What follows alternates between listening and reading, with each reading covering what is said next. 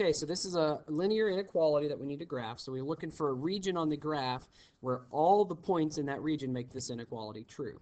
So to do that, we graph the line first. So to graph the line, we're going to subtract x. So you're going to have 2y is greater than negative x plus 8.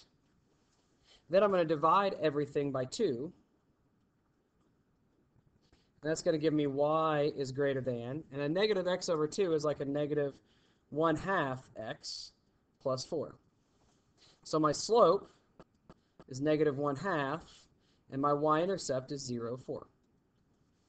So I graph those. So I graph the y-intercept first, as always.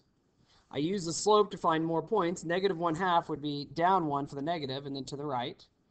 Remember, it's rise over run. So rise negative 1, run to the right 2 and we keep graphing points. Remember that this is a dashed line because it's not equal to. Whenever it's not equal to, we've got to put a dashed line because the line itself is not part of your solution. Then the last thing we do is we test a point to decide which side to shade on. If the point we test is true, we shade that side of the line. If it's false, we shade the other side. So I'm going to try 0, 0.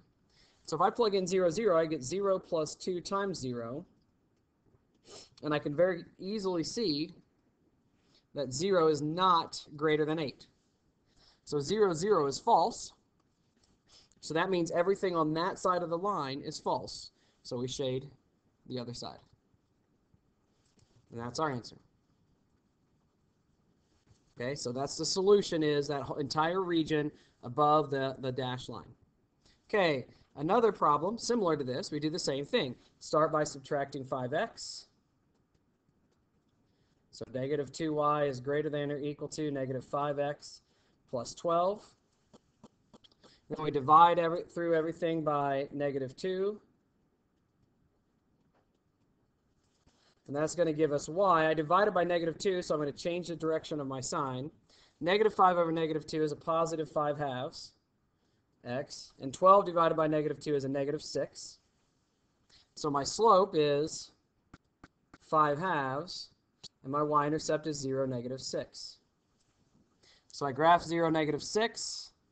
My slope is 5 halves, so that means up 5 to the right 2. So up 5 over 2, do that again. This is an equal to, so I'm going to make a solid line. You should draw it through the points better than I did. And then you're going to test a point. And so again, 0, 0 is always the best point to test. And so if we test 0, 0, I'd get 5 times 0 minus 2 times 0. And I would find out that 0 is not greater than or equal to 12. So that makes my inequality false. So 0, 0 is false. That means everything to the right of the line is true. And it includes the line itself because uh, it's an equal to, and the line, everything on the line would make it equals, make it an equation, because that's how an equation works. So that's how you graph um, linear inequalities. Make sure you graph the line, check if it should be dashed or solid, and then pick a point to determine which side of the line you shade.